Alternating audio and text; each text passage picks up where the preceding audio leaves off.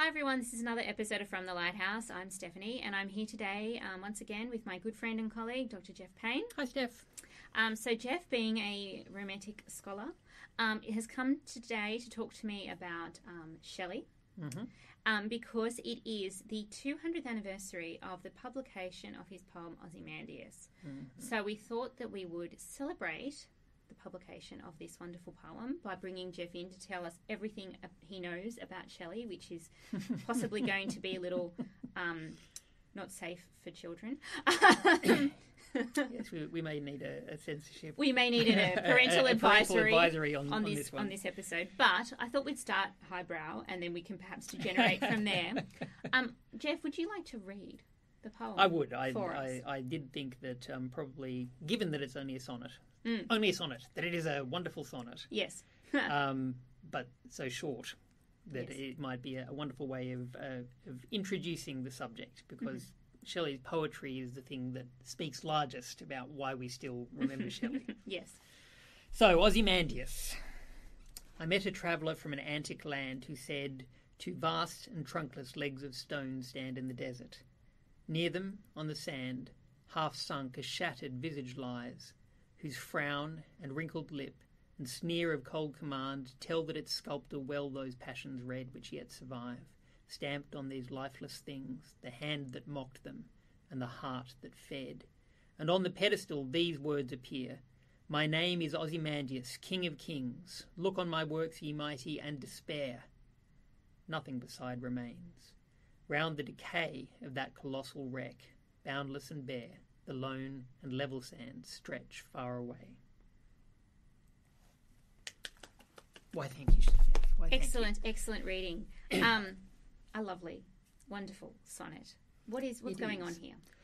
Well, this um, this sonnet for me is exemplary of many of the things that I love about romantic poetry, and they're the kinds of things that very often in the popular imagination get forgotten about the romantics. Um, in the popular imagination, the romantics are because of the the associations between romance and what we call romantic. There is an idea that a lot of the stuff is about emotions and about emotionality and intense passion, and that's not absent No. from this particular poem, but it's not its central interest. Um, its central interest is, of course, power, Mm. um, the effects of tyranny, um, and so it, so it's a, I suppose, a reflection upon the nature of power and what it does. Um, it's also a reflection upon the relation between the human and the natural world, um, and about the insignificance of individual human life in comparison to the larger sweeps of time, Mm. and and and all of those issues strike directly, I suppose, to the heart of Shelley's core concerns throughout his um, hi- his oeuvre. He he over over the course of his publishing life, he was always interested in social issues. He was, he was one of those writers who um, had a very strong sense of an ideal world that might possibly be created.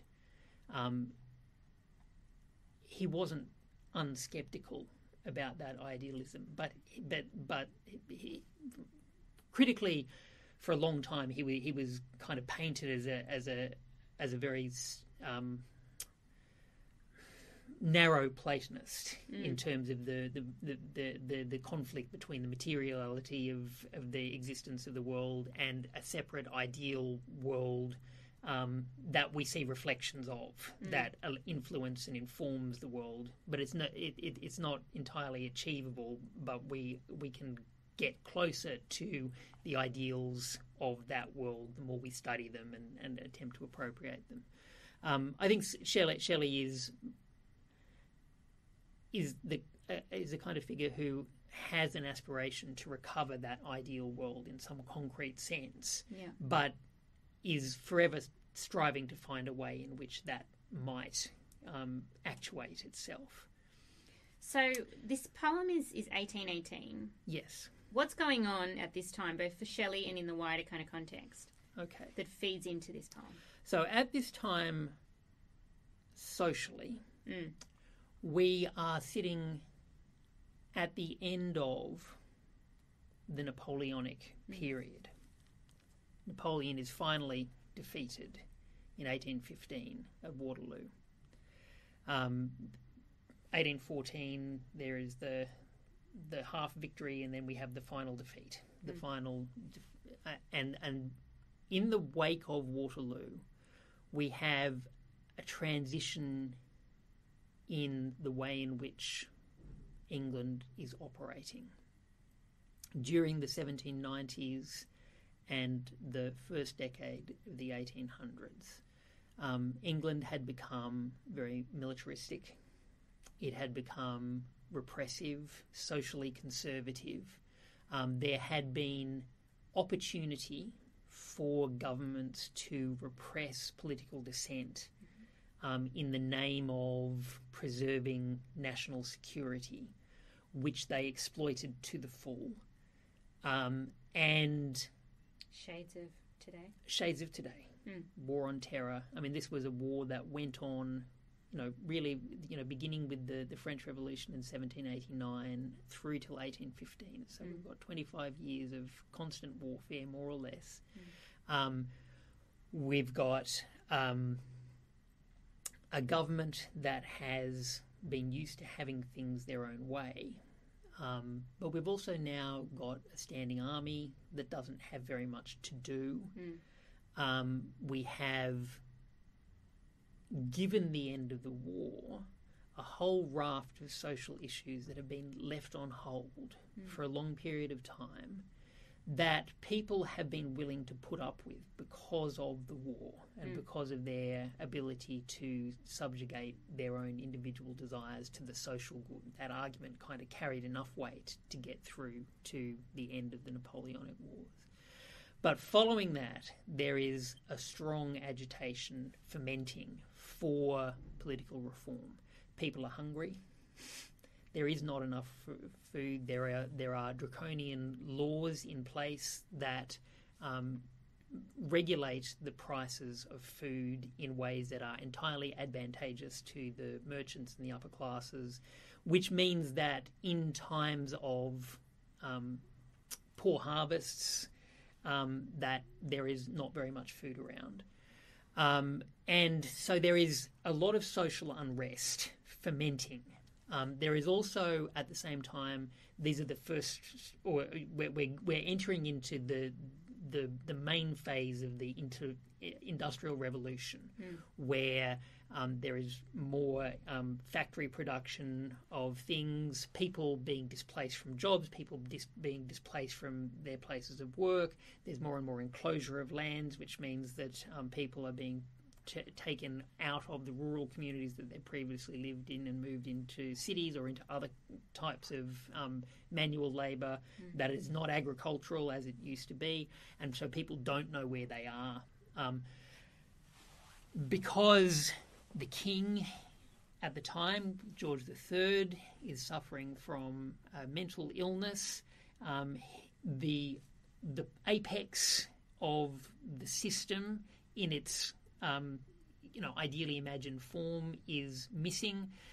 Uh, in action, the the son who is meant to replace him, the regent, is widely hated for being a um, he, he's seen as a morally corrupt um, licentious figure who who doesn't do anything to secure um, the good of the people. And at a time where there is a lot of poverty, a lot of hunger, what have you, the the regent becomes a figure of uh, who upon whom can be concentrated a, a lot of hatred, a lot of anger about the way in which um, the aristocracy in general is is treating the lower classes. Well, he's living large while people are he's living large while Yeah. people are literally starving in the streets. Hmm.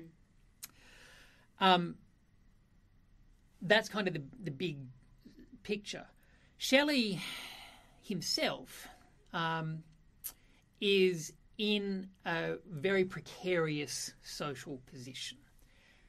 although it's a precarious social position entirely of his own making. yes. So Percy Shelley is the grandson of Bysshe Shelley, who is a baronet, and his father, Sir Timothy, inherits the baronetcy. He himself is the eldest child. He is in line to inherit the baronetcy. Um, he has, during his childhood, a very luxurious um, childhood. He's sent to Eton College. He's sent to Oxford. Mm. It's at Oxford that things start to go wrong. Yeah. right? yeah. so at Oxford, he, along with a friend of his, get together as undergraduates do and write something a bit naughty. Mm. Um, they write a, a tract that um, there is no God mm. an atheistic tract, that there is no necessity for a God, um, that in fact God is doing harm and damage. Um, that kind of expression would be still controversial enough today from certain prominent figures in yeah. certain yeah. communities. I mean, we our society is more tolerant of atheism these days than what they were in those days. At that time, um, even writing a piece like that was the kind of act that is going to get you in trouble. But Shelley doesn't do things by half. He's no. a very idealistic young man. He's very um, he's imbued with a strong sense of self-importance and self-righteousness, which comes out of his e- very luxurious, privileged childhood. Right, yeah. privileged childhood. Mm. He's just used to having everything his own way. He's got means. He's got everything. So he doesn't just send it to a printer but he sends it to the heads of all the colleges at Oxford. He sends it to all the bishops in the church. right. So, a pretty provocative action, right? The established church, it is the national church. Um, there have been religious tensions in England in the past where people have where where kings have been executed because of mm. the the antagonism over you know the, the, the need for bishops the idea of attacking God and the existence of God in this particular society um, to the very heads of the, the church, the princes of the church, um, the deans of the college who are also connected to the church, um, what have you, uh, is an action which is just um, incredible in its either bravery or stupidity, depending mm. on how you want to frame it. And people have read it both ways. Mm, yes, and you yeah. can read and it. You, can, you know, there, yeah. there, there, there is an element of both. Mm. I don't think they need to be mutually exclu- exclusive. But to Shelley's surprise, he got kicked out of Oxford. Yeah. Now, it, it speaks volumes of the man that he didn't see that coming. Yeah. Um, but he didn't. It really does seem to have really taken him by complete surprise that he would be expelled from Oxford.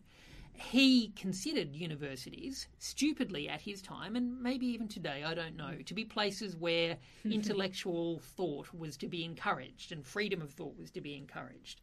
And they weren't. No. Um, they absolutely weren't. The established um, universities, in particular, um, were notorious in those days for being um, places where you received a very conservative, mm. narrow, well defined education, assuming you received any kind of education as well. They were also the domain of the aristocracy by and large, and many aristocrats who attended college merely went there to be given a degree without actually doing anything. Yeah. Um, Byron for instance, at about the same time as Shelley attends Cambridge. Um, and the main thing that he does there is he sets up some very lavish rooms. He keeps a bear as a pet in the um, in the stables and he drinks and, and he, yeah. gambles and seduces young class. choristers and yeah. he doesn't you, you, he doesn't go to class he doesn't i mean they, they didn't exactly run classes no. in the same way they had a tutor they would be given a list of readings but if you got a good tutor you know the list of readings wasn't particularly onerous and yeah. um, you'd probably done most of that stuff anyway while you were at school and so it was really just an, a, an excuse to party for a few years before they weren't you went sweating and the assumed academics. Yeah. they, they weren't they, they didn't need to have um, particular skills in order to do whatever they were going to be doing in the future because they were going to inherit everything. So. Mm.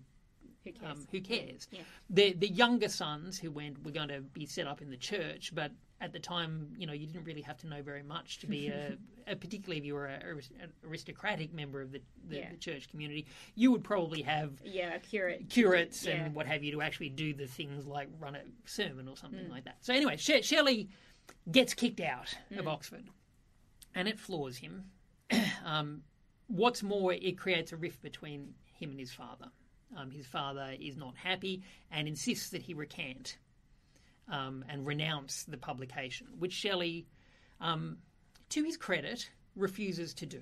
I think it is to his credit. Yeah, I mean, you know, there, there's a degree of stupidity in it, pigheadedness, but you hmm. know, he does. Bel he he has written something that he actually truly believes, hmm. and he sees an injustice in the actions that are happening, and he says, "No, this is silly. I'm not," and he behind it, stands yeah. behind it. Yeah. So he does refuse to recant, and his father refuses to budge. So he's essentially reduced to a position where he has very limited financial resources.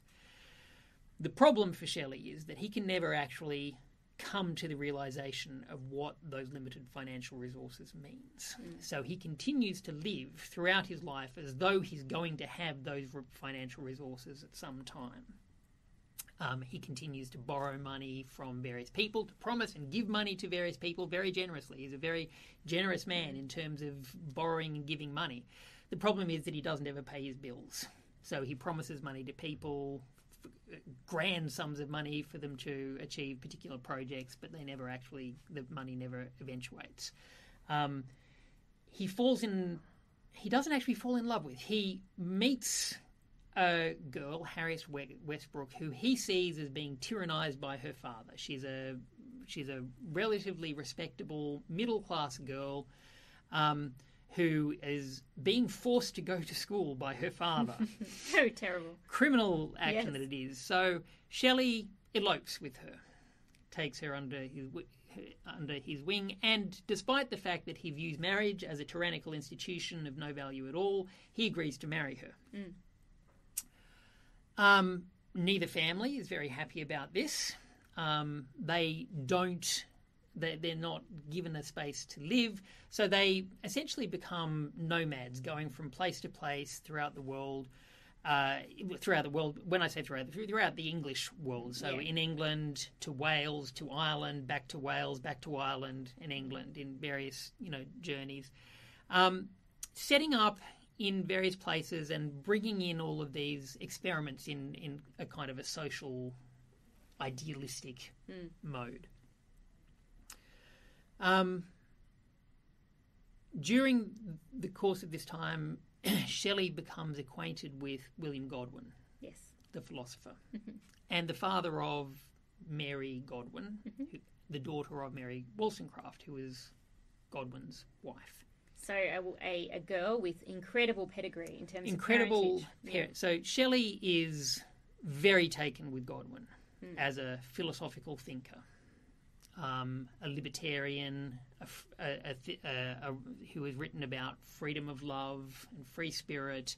And about the tyranny of social the social systems that exist in the day, and the need to liberate people from such tyrannies, and and Shelley is completely um, uh, taken with Godwin, he decides to, you know, to to go and put himself at the feet of the master and become his disciple, and um, agrees to take on all of Godwin's debts, which Yeah. is substantial. Which is, yeah, many, yeah. um, borrows large sums of money in order to be able to take on these debts. Now, in the course of his acquaintance with Godwin, he, of course, meets Mary and decides that he loves her, not Harriet. um, he is a advocate of freedom of love and believes, in fact, that it's immoral to live with somebody who you don't love in the context of man and wife, and so therefore abandons Harriet entirely, who has just had given birth to their second child, um, and elopes with Mary Shelley and Mary Shelley's half sister Jane, who changes her name to Claire. Yeah.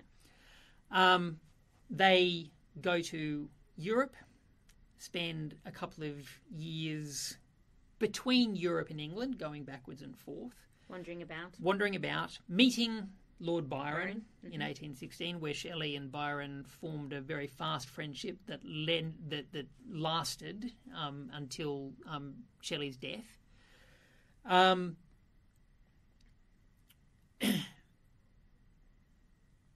but the so this is where things start getting really complicated personally for Shelley, though, because Harriet, his wife, is entirely bereft. He invites Harriet to come with him to the continent with Mary and live with them as though she's his sister Yeah. while he beds with Mary. He's also having an affair with Claire Yeah. at the same time as with Mary, although Byron is also having an affair with Claire Yeah. um, which is which produces an illegitimate daughter. And Byron doesn't really like Claire at all, and does everything to discourage her and tries to get rid. But he sleeps with her anyway and has a child with her, which becomes a, a really thorny. It becomes the the kind of one sore point of contention between Byron and Shelley is the, Byron's treatment of of Ada.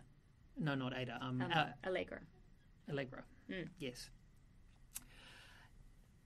so by 1817, Shelley has been back to England. He's sorry. So before before 1817, um, Shelley, Harriet Westbrook kills herself. Surprisingly enough, she didn't like this idea of hanging She about didn't like with, the idea with, Mary of Shelley and Claire about Beaumont. with Yeah. Mary and Claire. She is reduced to a state of desperate poverty. Her family will have nothing to do with her. There's no money from Shelley's family to support anybody. Um, so Harriet is in increasingly desperate straits and decides in the end that the only way out is to, to kill herself.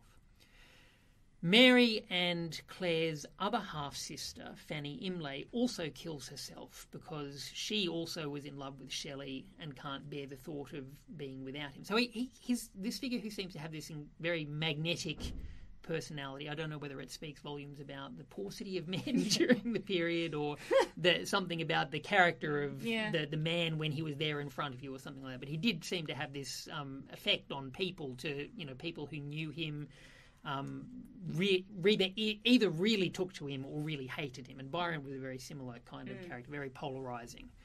Um, so he's got two um, women who have killed themselves at the fact of his elopement. The one thing it does do is it means that he can marry Mary now officially because his former wife is dead. But his family will now have absolutely nothing to do with him. There is no chance of a of a settlement. Um, Shelley's father does agree to take on the management of the other two children, only under the proviso that Shelley himself has absolutely nothing to do with them, so the, the two older children. But Shelley is essentially left without any means for supporting himself or sustaining himself. And he's in- got a collection of children with Mary. He's as got well. a he's got a Yeah, collection of yeah. children with Mary as well. Um, and so he decides that the only thing he can do is go to the continent, where he falls in with, um, or he reconnects with the Hunts, who he has also known in England. Now, the Hunts, Leigh Hunt is another interesting character. He's um, well he's, he's maybe best known these days as being the model for Harold Skimpole in Dickens's Bleak House. Um, himself, another one of these figures who um, very idealistic politically, um, with very few practical, pragmatic skills, who lived skills. entirely. For, so he lived entirely upon the charity of other people Yeah. um, throughout most of his life. He had been prosecuted for seditious libel and imprisoned um, for having written um, pamphlets, published um, newspaper articles that were um, derogatory of the Prince Regent. And he was forced into a kind of political exile. So Shelley um, and Hunt set up this kind of circle, uh, political circle in Pisa in Italy, where they um, where, where they become fast friends. They, they they work and what have you. So Shelley in 1817 is just kind of at the beginning of this era of finally having decided that England is no longer a place where he can live. He still is intensely interested in the political system there. He still has in the back of his mind hopes that his father will hop the twig and he will inherit. Yeah. And there won't be. His father has instigated chancery suits to make that inheritance as complicated as possible. Possible, yeah.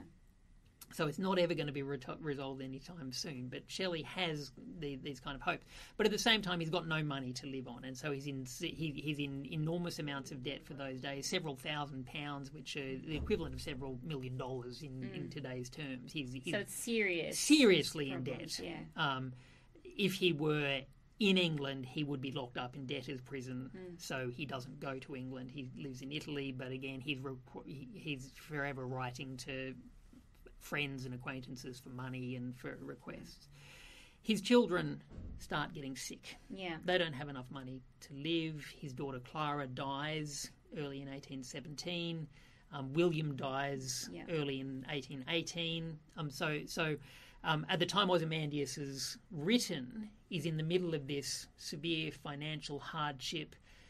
Shelley personally feeling oppressed socially. He's also got a very complicated domestic relationship with Mary, um, where because Shelley believes in free love, he feels quite um, okay with having lots of mistresses and not particularly inclined to try and hide it from his Didn't he wife. try to talk her into having Yes, affairs? he tried Yeah. to talk her into having affairs with Byron and with She various other people. biting, she no. weren't into it. No, but he kept saying, "Oh, it would be really intellectual." I mean, we you to do didn't so." we didn't mention the fact that at the point that they elope in um, in eighteen fifteen, 15, yeah. Mary Shelley is fifteen years Yeah. old, Yeah.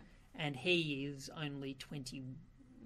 Yeah, something like 23. that. 21. Yeah, 20, okay. So they're very young. They're very young, Yeah, maybe twenty two.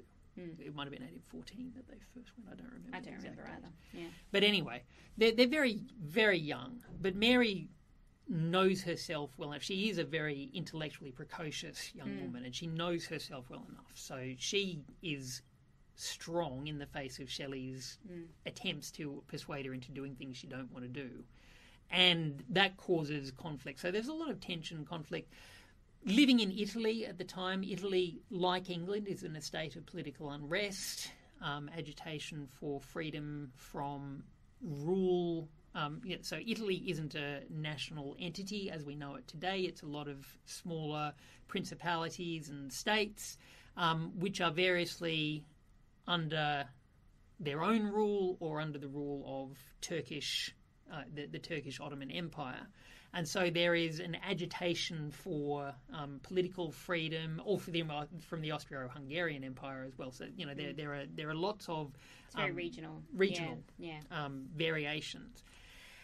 And so Shelley finds himself living as an expatriate Brit in this community in Italy. He becomes involved with some of the political movements in Italy. Um, he's also very intellectually bound up to um, Byron and the other romantic uh, writers around them, Leigh Hunt and the Leigh Hunt Circle. And that's when you get that night that they do the ghost stories, and then Well, that's earlier. writes- That's that's yeah. a, that's a That's- that's a bit earlier, That's a bit 1816, earlier, yeah. in Switzerland. Yeah, when so they that's get when she- together. yeah. yeah, yeah. she When- gets the idea to write Frankenstein. Yeah, but it- but it still comes out of that same kind Mm. of you know sense of community, and and I mean particularly the younger generation of scholars had.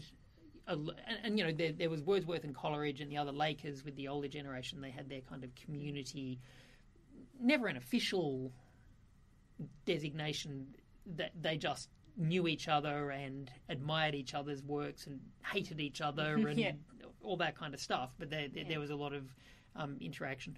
Shelley, amongst the, the younger romantics, was the only one who continued to admire the older romantics um, through the period, even though he um, repudiated their politics. because they, they became increasingly conservative. They became increasingly. Yeah. I mean, the older generation of romantics were children, were, were were were teenagers at the time of the French Revolution, and thoroughly taken with the Yeah. ideas of the French Revolution, and thoroughly disillusioned by the Yeah. actuality of what took place during the Terror and during the, the 1790s and the de, um, the devolution as they saw it into the Republic and under Napoleon, the the Empire under Napoleon.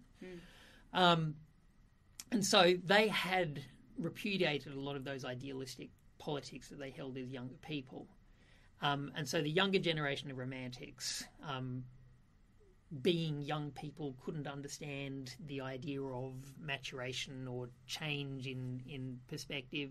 And so they felt very angry and, and, strongly angry about the, the what they saw as the abandonment of the, the liberal cause by those writers. Um, Shelley was able to look beyond that at the poetry and appreciate it for its artistic endeavour to an extent that Byron would never admit that he did. Byron was actually more admiring than what he ever would have consciously admitted. Um, but but but you can see in his poems that there is um, as much homage and the satires that he produces on the the um, the older romantics again demonstrates an intimate knowledge of their Yeah. works, even as at the same time as he um, is sending them up. Um, but so Shelley, you know, even just the the choice of the sonnet form Yeah. um, in terms of this is continuing on this renewed interest in um, more formulaic, um, regularized, standard verse forms and attempting to um, revolutionize them, to make them new, to make them different, to bring them into conversation with the interests of um, the, the political ideologies of the day.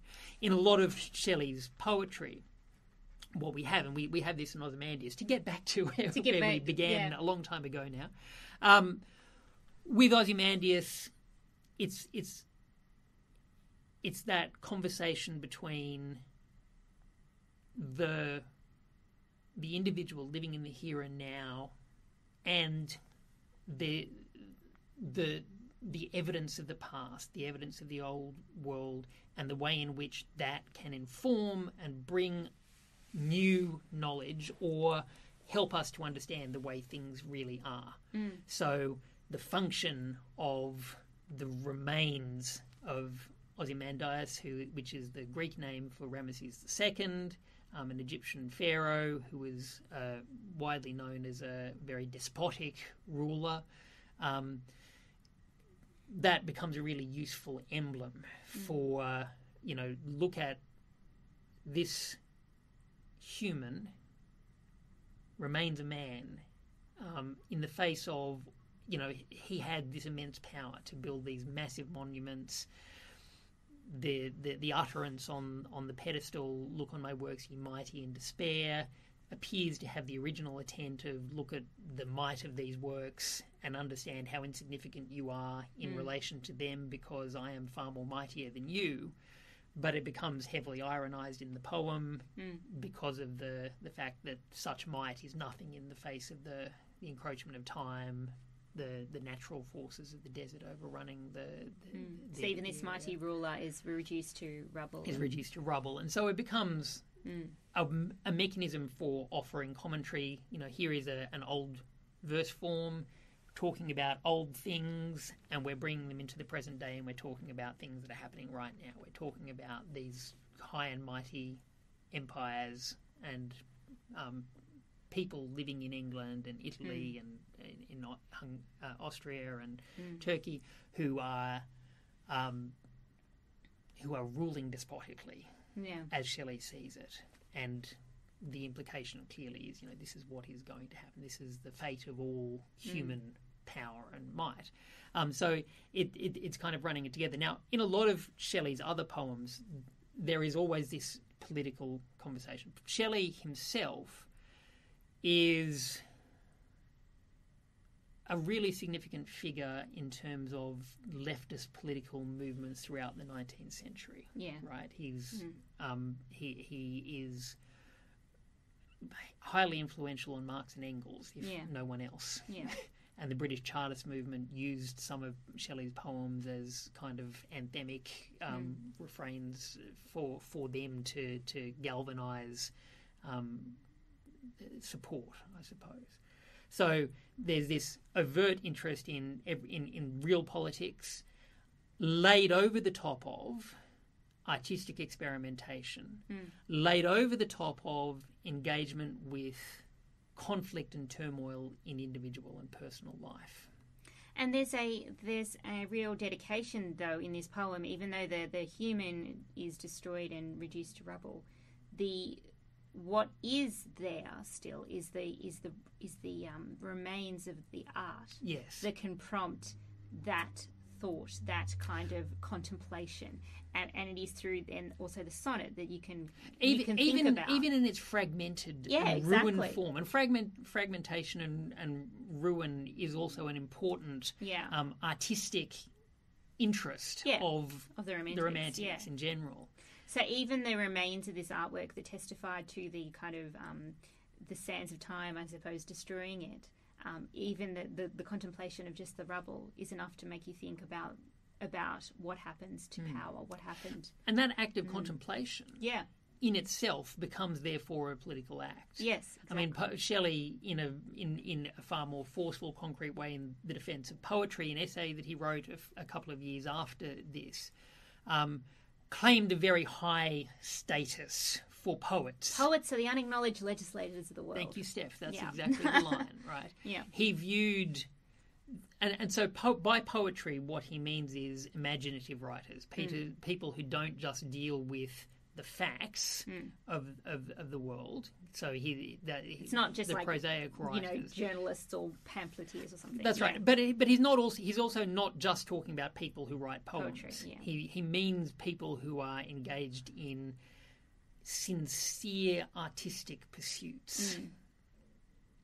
Um, those are the people, the people who engage imaginatively, who with the remains of what has gone before. There, there's a strong emphasis in Shelley's conception of poetry and what it is and does in knowledge of the past. One needs to be aware of the mm. past, what has gone before, a careful, close study of the philosophers and of the scientists.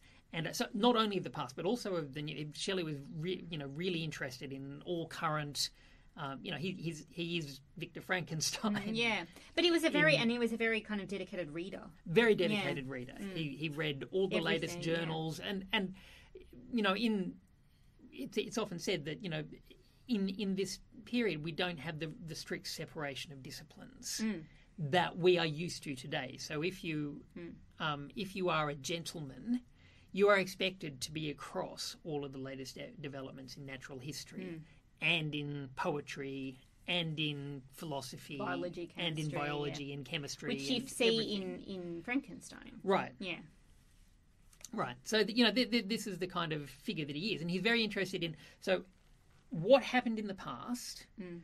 What exists in the in that past stuff that is of value and that continues to resonate today, and how can that be brought into conversation with things that are happening and things that are important now, not only in the big world but also in in the personal world. So then also, how does the person? And this is another overwhelming uh, overwhelming interest of the the romantics is how does the personal extend to the political? So Wordsworth's Prelude, which is the great epic of the Romantic Age, is a poem about the the the individual's development into the self as the poet. So Wordsworth biographical poetry poem about himself becoming a poet hmm. in his life. This is the the, the great overwhelming interest of the Romantic Age, and and Shelley is interested in that sense in terms of you know how can interest in an individual's life, personal circumstances, and what have you, feed into an interest in in what else is is going on. And I mean, again, that's not strongly in this poem, but just that opening sentence, "I met a traveller in an antique land." It's a very mundane opening to a mm. to a poem, right? It's it's it's a you know.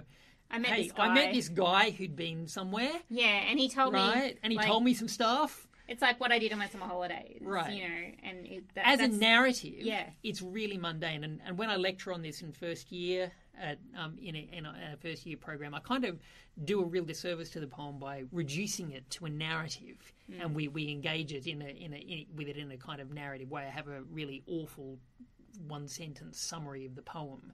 Um, which is very bland, deliberately bland and Mm. devoid of detail, in order to to make some points about you know Yeah. narrative elements and what have you.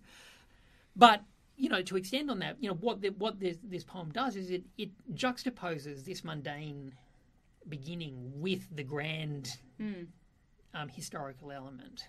and it's and, and it's a, such a beautiful encapsulation of that um, belief in the past feeding into the present because we are using the ancient, very ancient past to feed into um, our contemplation, political contemplation of despotism. And also, you, you have the turning of the instruments of oppression upon the oppressors themselves. That's right. Right. I, it, it, it, Time tyrannizes over. time yeah. tyrannizes over, and yet so this becomes Marxian Marx's version of history, Mm. right? Um, the the the the, uh, the the the oppressed will always overpower overpower the oppressors, and the the the tools of repression will become the instruments of their own destruction, right? The, the, this in Ozymandias is exactly the same mechanism that Marx kind of instills into his um, ideology, which becomes so influential for 20th century artists and writers In and, history, and what have yeah, you in yeah, history. Um, and, and, and Shelley is really interested in that in, in that notion as well of being able to use so that the carving takes on a new life when recontextualized and brought into conversation in a different way um, in a different place in a different time it completely shifts its meaning and so the audience are invited to recognize that pattern of being able to take something old and, and, and bring to it something new I feel like packaging it up and sending it to Donald Trump. yeah well Look what time will do to you and your power. mm, fake news Yeah, that's right. Hashtag fake news. Um, yesterday, you told me an interesting story about Shelley that is, is kind of related to all of this um, stuff and kind of encapsulates, I think, even though it's really funny and that's why I want you to tell it, I think it, it, it encapsulates the, the nexus between Shelley's like actual convictions and politics that we see is very um, laudable and having his heart in the right place, but the kind of bumbling way he sometimes yeah so this about it. Th- this story that I told you, it comes from a period of, I think it's 1814. So prior to this, So prior Yeah. to this, um, and Shelley has is on his travels through England with Harriet Westbrook and Harriet's sister Eliza, who he also hates. Um, so this is prior to Mary Shelley. prior to Mary Shelley, um, and they fetch up in a place called Tan-yr-allt, which is a, a Welsh name meaning under the hill. It is very atmospheric. Yeah. It is very, very atmospheric. Ferric. Um, and what this, it, it's a place where um, some very well meaning people had decided to set up an embankment project to reclaim land from the ocean, to allow poor people to have access to land which they was becoming increasingly spare um, so that they could grow food for themselves. So it's a very Very noble project. noble project, idealistic, ultimately ill-fated. Um, little chance of actual success given the limitations of the, the landscape and what have you. But Shelley comes to this place and he just falls in love with the project and thinks that it's wonderful. He has not long before this been in Ireland, and at the time, as throughout much of the 17th, 18th, and 19th, and 20th centuries, Yeah. Ireland is a place where there is a great deal of social unrest, um, resistance to English rule, um, and Shelley goes to Ireland to agitate for reform, emancipation of Catholics, um, better conditions for the peasantry and the working classes, what have you. He puts lots of people's noses out of joint um, and essentially has to flee the country to avoid being locked up. This is a, a, a fairly typical pattern running theme in running Shelley's theme in life. Shelley's life, Yeah. right? He publishes a lot of um, proto-unionistic pamphlets at the Mm. time. Um, he gets involved with the, the proto, prototypical working unions there, and therefore puts the noses of a lot of powerful industrialists and landholders and what have you in the local area out of joint. He gets away from there. He comes to Wales. He, he washes up at this project, and with deliberate, enthu- you know, with, with typical enthusiasm, he throws himself wholeheartedly into the project. He somehow ingratiates himself with the guy who is the head of the project. He becomes the, the, the chief secretary for generating funds for the project for and he starts writing off letters to all of the power pe- powerful people nearby um, lecturing he, we're talking about a 20 year old uh, man young Who's man turfed who's just been turfed out of university been to Ireland been had to flee out Ireland turfed Ireland. out of Ireland um, he has been disinherited and disowned by his family. Um, but he just has this magnetic personality and Yeah. this ability to um, convince the people who he is around that he he is their he is the answer to all their prayers and all their dreams. And so he inserts himself into the project. He becomes integral to it. He promises lavish sums of money from himself and says that he's going to generate all this extra money to, from the local magnates. He starts writing off letters to all of them in a very lecturing, hectoring, antagonistic tone, to which surprisingly they take issue. Mm-hmm. Um, he does generate funds. He's not entirely unsuccessful. He has pieces published in the, the press and what have you. He was, he was a great pamphleteer. He was very good at, at dashing off prose writing. In fact, William Godwin um, insulted Shelley's. You know, he he um, when when Shelley got Godwin to read through Laon and Cythna um, prior to its publication, um, Godwin um, told him he shouldn't publish it, and that his review of Godwin's own novel that had just been published was a far better production, and Shelley couldn't. like it was just you know, but Godwin was quite perceptive because Shelley was a very good um, polemical prose writer. Yeah, he was yeah. really good at, at writing that kind of, of stuff, and quickly and for publication. So he, you know he, he did a lot uh, in terms of raising the profile of the project and what have you. But in in the process, he um, manages to piss off almost everybody who's powerful in the local area, to the extent that one of them decides to send somebody along to kill him. so Shelley is at home one night. He he's had a servant who of his who has been locked up for political agitation himself, who has just been freed from jail and has just come home from jail. And he, Shelley and the servant are sitting up late that night with um, Eliza and Harriet in the drawing room, and somebody shoots through the the, the bedroom uh, through the living room window um, at Shelley. Well.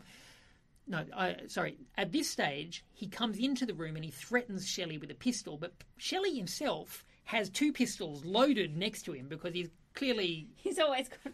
well. The, the, people argue about what is actually happening in this Yeah. circumstance. Some people believe that the whole thing is a hallucination that Shelley had had under the, the influence of some kind of drug. There seems to be sufficient evidence that something, Something did happened. actually happen to discount that theory fairly uh, comfortably. Mm. Um, but but actually, that's the story that his friends put out closer to the time, you know, after Shelley died, when when they were trying to tidy his life up a little bit to make him a little bit more palatable because during his lifetime he was social Mm. he was untouchable. He was an atheist. He was an immoral character. He Had his string of was a bankrupt. he you know th- th- he had everything social against him and he, he couldn't um, be mentioned in polite society. Um, anyway the, the, the, the, individual comes in and threatens him with a pistol. Shelley shoots at the guy and hits him in either the arm or the leg. The exact location of the hitting is unresolved. Um, and the man leaves saying that he's going to come back and take his revenge. Right, but so essentially, when he comes in and threatens him and the, the family, it's essentially you know you got to get out of town or things are going to go horribly mm. for you. Shelley shoots him. He vows revenge the women go to bed. They're in a state of panic, but Shelley sends them to, to bed, and, and he decides that he and he's also in a state of panic. Um, and the servant, everybody's a little bit panicked, as you would be after somebody's come somebody's into your house house. and, and, and threatened to shoot you.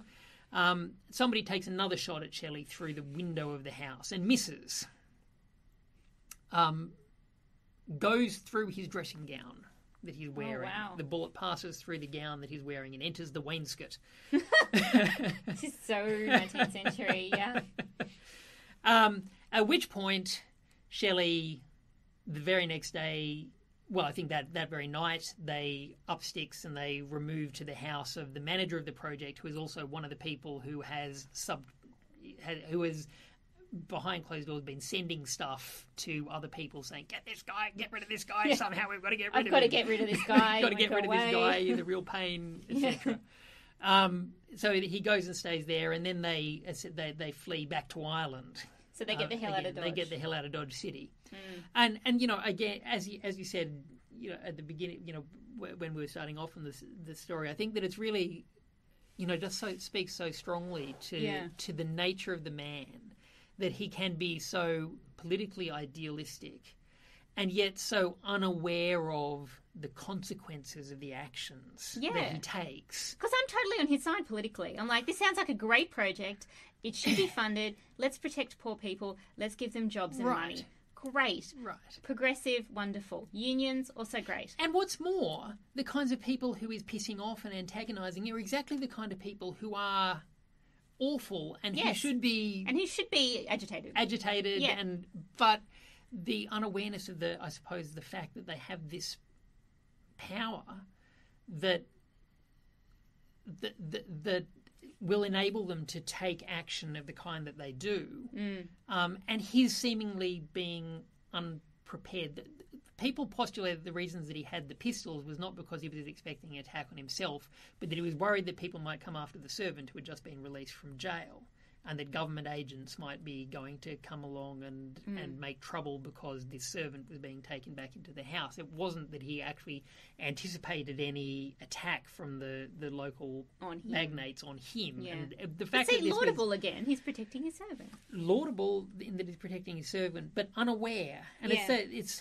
I mean, for me, Shelley as a figure is. I mean, he he's he's a type who serves still as a rich vein of satirical humour. So he always reminds uh, when, when the young ones were big in the late eighties and early nineties. Rik Mayall's, people's poet, Yeah. right, always seemed to be a heavy satire of Shelley. Um, there's a comedy series on Netflix at the moment, Cuckoo, Oh, where that. where a, a young girl brings back this American boyfriend from she goes to on her gap year to Thailand and, and comes back with an American boyfriend who sees himself as a philosopher guru and he's he's got all of these high minded ideas but he's also completely clueless Mm. um, and the father Shelley. in the in the, the situation is aghast and is doing all these things to try and get rid of it. It's very funny. It's a Yeah, it's a, it's a great British humour. But again, it's a very Shelleyan kind of figure of this you know very young man Yeah. with a very um, it's difficult with Shelley to say exaggerated view of his intellectual capacities because Shelley was a very bright man. Like you know, he, Yeah. you, you can't accuse him of being a dummy. No. He thought very deeply. He was widely read. Um, he engaged really seriously in that Mm. process of artistic endeavour. Of course, he had the capacity to do it um, in terms of like, he didn't have the money, but he, he had the ability to convince people he would have the money eventually to keep on hmm. lending him more and more money in order to be able to do it sufficiently that, that that he was able to spend the time, and he was also able to neglect all of his social duties or social responsibilities. See, with all the good stuff that we say about his political idealism, what have you, a lot of the people who suffered at the hand of the unpaid bills are, of course, the tradesmen and Yeah, workmen right, who supply exactly. him with all of the, the essentials of everyday life. And Every place that he out of- leaves, yeah. he leaves with all of his bills unpaid. And they apply to his father to pay them, and his father refuses to pay them. But see, this is where I think his privilege comes in because he's Um, Right. grown up in, you know, in entire privilege, and he's never had to contemplate all of this, and so that gives him this this absolute confidence that he's just going to get away with things. Every, everything will be paid for eventually. yeah, eventually, it's all just going to work out in the end. He's never had to sweat on it. He's never had to worry. And yes, he does later, um, because he, he you know is constantly poor. But because he has that inbuilt confidence that comes from this in, entirely privileged background, he never has to think about. Or he thinks he doesn't have to think about all these things. He just blunder through, and everything will turn out all right in the end because that's the pattern of his of his childhood. I mean, he has to life. continually negotiate loans, so he, he can't entirely not think about it. He does, Yeah. he, does, and he does occasionally pay bills. but he doesn't. But he's always confident that it's going to work out. Right, right. and doesn't it- have that awareness of like, oh, I'm really and, and you know again it's it's this idealism about the future and the idea Yeah. that it's all going to work out in an idealized Yeah. kind of sense at the end that I'm helping to bring about. Hmm. Yeah, so he's he's really laudable in one sense, but also terrible in another. And his and his treatment of women is something that I just cannot. yeah well i mean so that's another thing that we haven't Yeah. really touched upon but yes his his his treatment of women you know again it's it's not he's not entirely alone in his um bad treatment of women at the time and, and One day we're going to do our during the time- podcast on who was the worst romantic. Yeah. Right. Yeah. Right. And it's going to be a really close, close run competition. Yes. Um, and and you know, as with Byron, Mm. like Shelley and Byron seem to be the clan, the, the standout front runners, right? You Mm. Know, the you, you can't get the yeah. worst of uh, in terms of personal character. Um, and yet, with both men, the evidence of the people who knew them well Hmm. suggests that there was something about them that was, you know, so th- th- they were both fiercely loyal friends who had a great deal of care for uh, their servants, Hmm. for the people around them. Byron less so than Shelley. Shelley was, you know, really, you know, had that egalitarian philosophical idealism that saw that people should be treated equally. Um, and so his treatment of women devolves from his unwillingness to play the social games that were expected. And because of that, he becomes a figure who seems to provide an idea of liberation for women from the strictures of a highly regimented society. In other times, at other times, we've been talking about Jane Austen and the way that she is working over this issue of um, the, the, the, the way in which women are so um, carefully regulated to the point that they have so little room to move. Well, Shelley's response is in a way, or you know, Shelley seems to offer a, an avenue, a, a, a, a new position for women to move. They don't have to be married in order to express love. Um, they don't that that that children should be cared for, and Shelley was a, a caring-ish father. He was ineffectual. He, he was couldn't better than provide. Byron. He was better than Byron, and in fact, he cared for Byron's, Byron's children, chil- yeah. child when Byron refused to do so. Um, but the fact was that he, as always, was completely too optimistic about the way in which the, the social effects of what would or how many people would get behind and would be would be able to accept the liberties and licenses mm. that they were taking with social decorum. Yeah, so he he was destroying Mary Shelley's reputation irrecoverably, mm. and Claire Clairmont's as well, and all of the women that he slept with, and he had no perception that that was destroying them. No, well, and in fact, you know, so he himself play places no value on such reputation. So for him, it's not Yeah, it's not an issue, but for them, it's an issue. For them, it's an issue, and particularly once they're out of his circle, and especially once he dies. Uh, yeah, Mary Um, Mary Shelley's got a very long life after he, after he dies to, to get on. You know? Right. And it's not until very near the end when her son finally does inherit Inherit, the yeah. Shelley um, um, uh, Uh, baronetcy and the estates and what have you that there's any kind of financial security for her. And until mm. that point of time, she's um, living on her wits. And, mm. uh, you, you know, so there's a way in which thank God because what might have happened to the works that we have of hers Yeah, if that weren't, Weren't, there, and what might have happened to Shelley's poetry because her she she sh- she collated the, the, the complete work. She preserved his reputation at a time uh, during the period where he was unmentionable, um, to the extent that he that Shelley became so profoundly influential on romantic writers, you know, like Browning, who- you know, who, who himself is one of those really awkward Yeah, figures to treat to deal with in terms of relations to women and Yeah, but I like that he was so. I, I think there's a nice little kind of irony that we might leave it um, with today because we've completely run out of time. But um, I like that he was so terrible to women and kind of destroyed their reputation. But in the end, it was a woman who maintained his his mm. literary legacy, and we have mm. Shelley today because of the efforts of Mary Shelley. Mm. So maybe she got the last laugh after all. Thank you so much, Geoff. That was absolutely fascinating, and that story, which I didn't know about, about um, Shelley being shot out through a window, is one I will. he did a little sketch Oh, did he? I, yeah, he, he, he's got the he drew a sketch of the, the figure that tried, and th- this is one of the pieces of evidence that people often bring in to think it was hallucination because it's in, it, it's a it's a cartoonish kind of ghoulish figure waving you know Oh, guns and what have you through. We'll the, have to get that and put it in the show notes so people yeah. can have a look. That's that's amazing. I love that story so much. So thank you for bringing that. Um, that was wonderful. Um, so this has been another episode of From the Lighthouse. If um, listeners could please rate and review us on Apple Podcasts, that would be immensely helpful. Thank you to those who have already done so. It's been really, really wonderful hearing your lovely feedback. Um, we'll see you again in a week, and thank you once again, Geoff. no worries. Thank you, Steph. Thank you. Bye.